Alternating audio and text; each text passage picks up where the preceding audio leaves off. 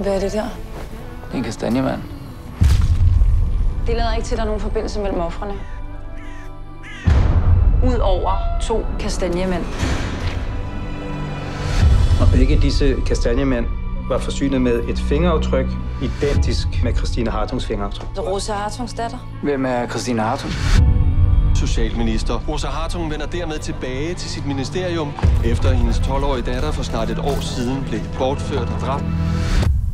Tror I, der er en chance for, at hun kan være i live? Christine. Du bliver simpelthen nødt til at åbne Hartungs seng igen. Glem alt om Hartung. Der må være noget andet her oversigt. Socialminister, kan du have haft en konflikt med en eller anden, som måske vil hævne sig på dig? Vi har fundet en kvinde. Der er nogen, der kører rundt med os. Jeg er udvalgt. Hvem er det, du udvalger af? Kastanjemand. Også bare for mange mareridt. Jeg ved, hun er derude. Jeg kan mærke hende. Det hele handler om hende, og det har det gjort helt fra starten af.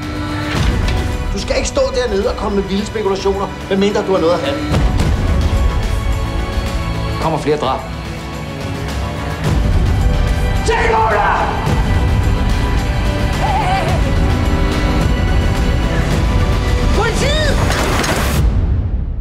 Er du sikker på, at du er den rigtige til det her job?